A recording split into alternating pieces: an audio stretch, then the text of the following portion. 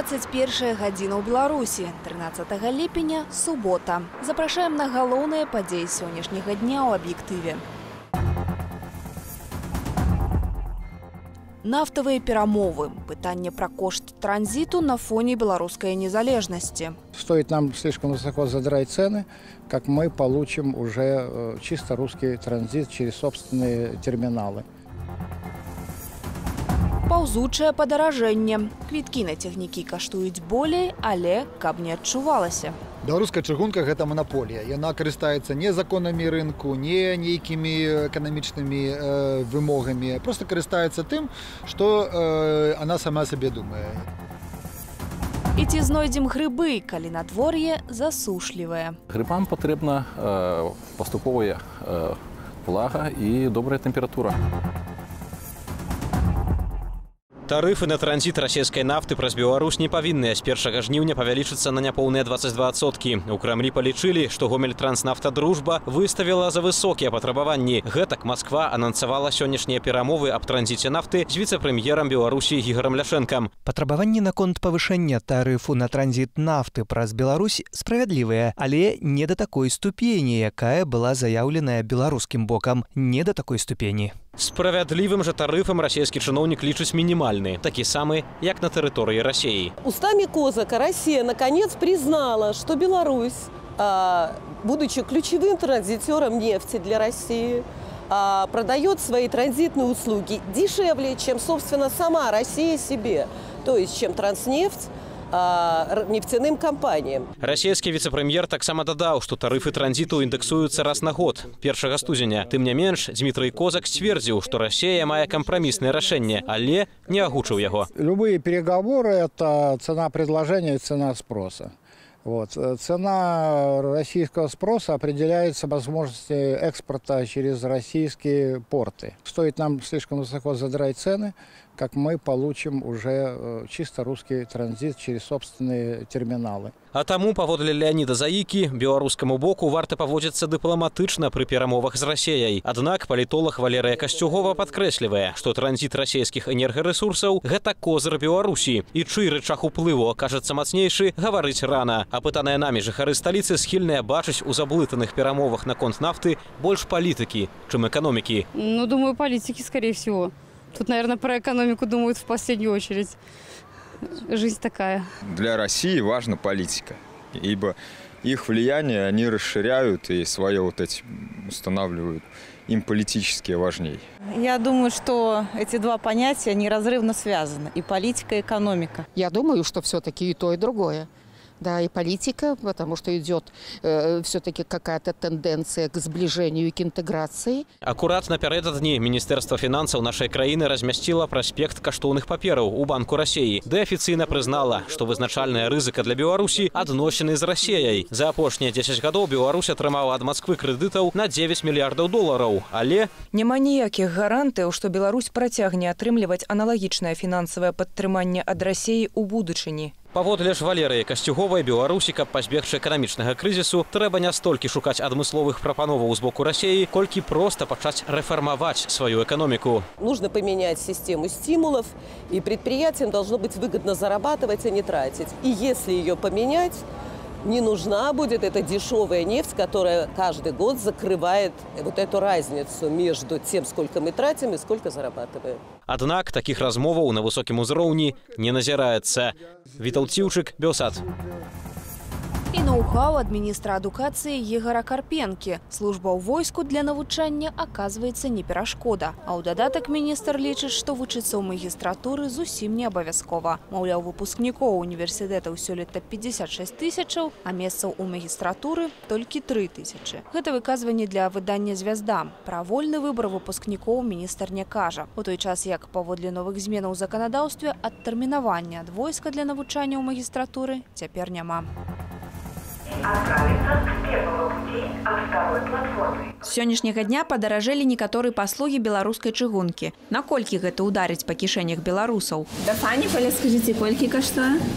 52 копейки. А он больше зараз каштуе, чым учора падня... паднялись кошты?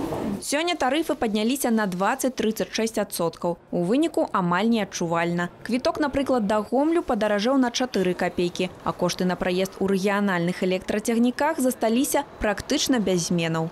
Квіткі на цягнікі ў Беларусі лічацца традыцыйна аднымі з самых танных у Еўропе. А што думаюць людзі пра беларускую чыгунку і ці танна ім ездзіць у электрычках, давайце запытаем. Цены за человека и за велосипед 70 копеек. Я ну таких цен нема уже.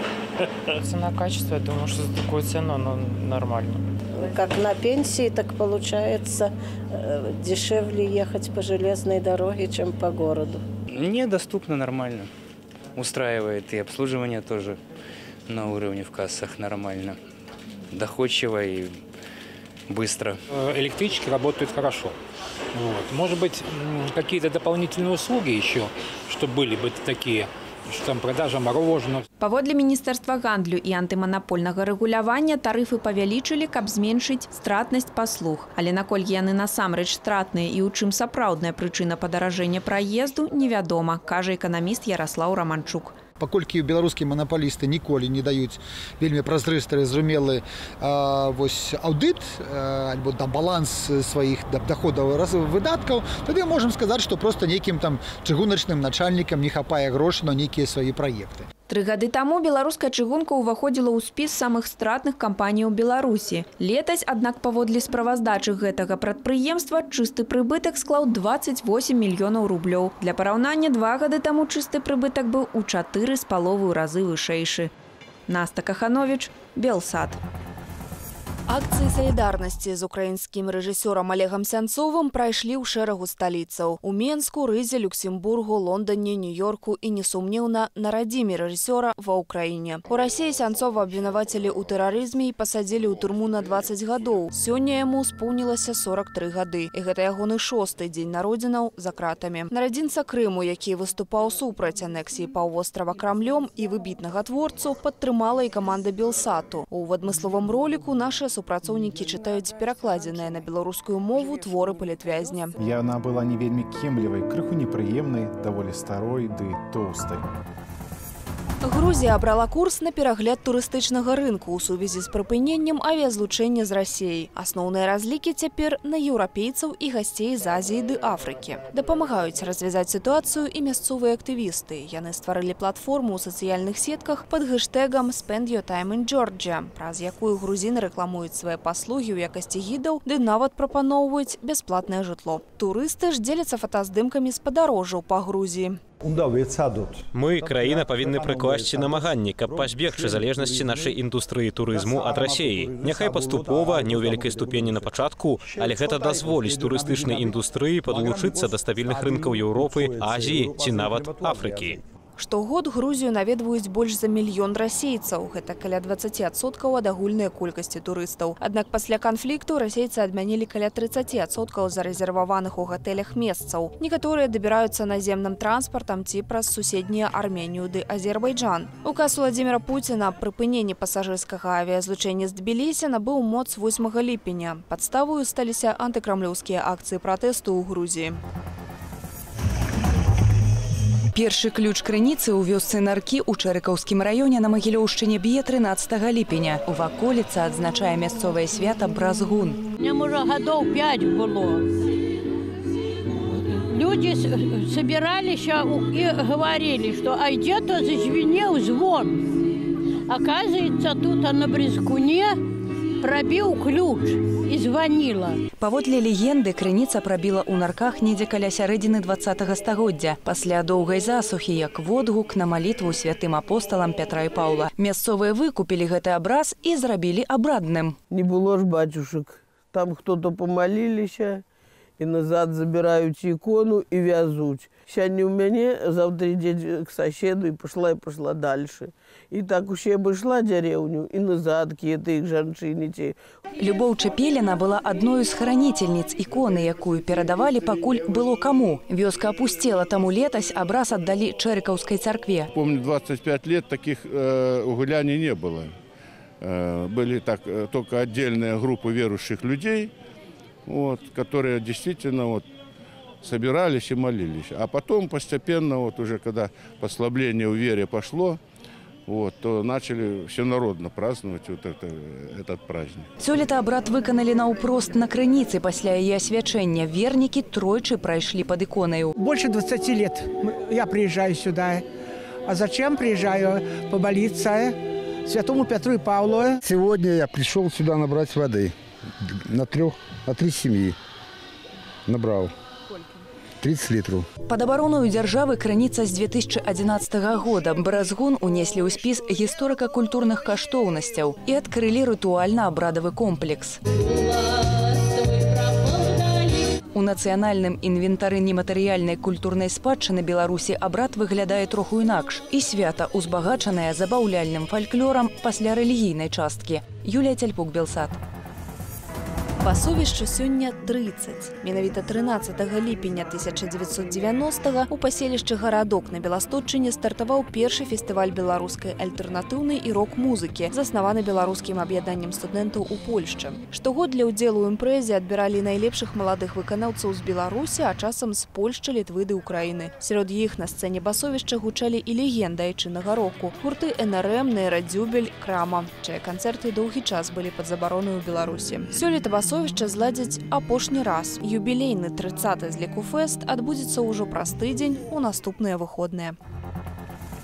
Паважаныя грыбнікі. Сёлета навукоўцы вымушаны вас расчараваць. Багатага ўраджаю чакаць не варта. Віной усяму засушлівае надвор'е, якое доўгі час трымалася ў Беларусі, толькі зараз у ліпені пайшлі дажджы, аднак ці выратаюць яны сітуацыю гэтыя дажджы нейкія такія эпізадычныя яго няма потым ён пойдзе потым зноў няма няма потым зноў пойдзе ось у нас у некаторых вёсках па паўтары месяцы на пачатку лета на канцы вясны не было дажджа а потым ён лінуў і ўсё заліў і потым зноў перастаў а грыбам патрэбна паступовая влага і добрая тэмпература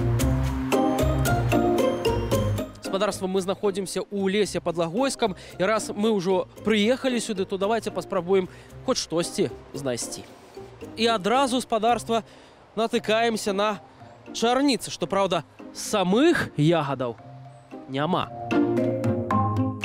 амаль за гадзіну праведзеную ў гэтым лесе белсад гэтак не сустрэў ані дароў леса ані грыбнікоў а можа гэта нам просто так не пашанцавала ну што ж вяртаемся ў горад І каб спраўдзіць, ці сапраўды існуе дэфіцыт ягад і грыбоў, мы адправіліся на сталічную камароку. Лисички килограмм 12, вот это 4 литр. Дорого? Это недорого. А ввогуле люди берут? Берут, конечно. Очень дорого. Мне как пенсионеру практически нереально. Хожу по рынку, как по выставочному залу. Навукоўцы кажуць, што грыбоў сёлета будзе вельмі мала, як лічыце? Ну, вы знаете, что оно как-то засушило в начале лета, поэтому грибница пока отойдет, не, пока хорошенько не промочит в лесу. Но так вот, пока белых нету, только вот лисички. Такие кошты и такие меркавания. А давайте зараз пройдемся на стихийный рынок, побачим, як там выглядает ситуация.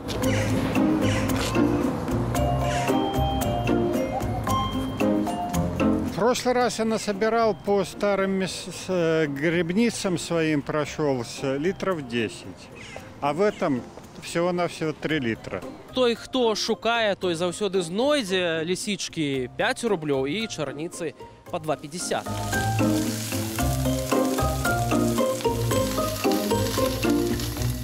Такім чынам, калі вы не жадаеце плаціць за ягады альбо грыбы 5, 10 альбо 15 рублёў, варта пачакаць яшчэ некалькі тыдняў, каб уласнаручна іх назбіраць.